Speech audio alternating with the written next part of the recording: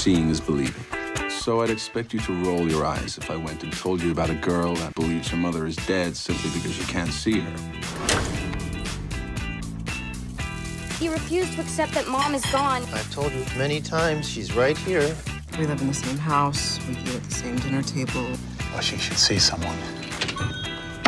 I thought I saw my mom this morning. Her watching me from a bedroom window.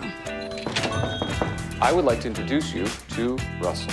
Okay, uh, when will he be here? Who are you talking to? Can she not see me? This is selective perception, based entirely in the mind.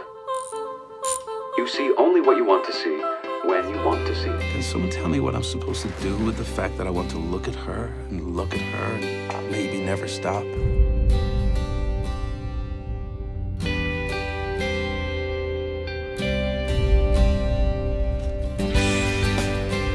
It means I'm cursed. It means Bess is never actually going to see me in real life.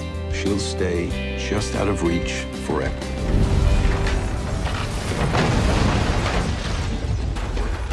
I would like for you to come talk to me. He's real, isn't he? I'm in love with this girl.